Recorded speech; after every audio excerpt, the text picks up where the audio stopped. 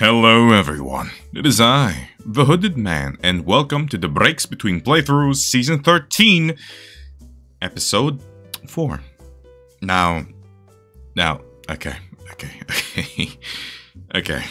So, I came to TF2 to unwind, because professional,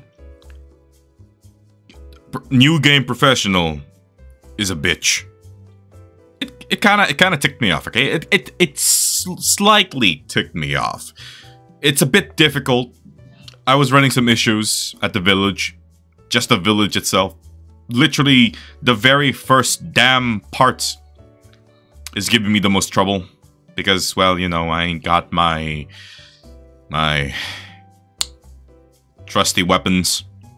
I'm getting my ass screwed here. God's sakes, it's it's annoying.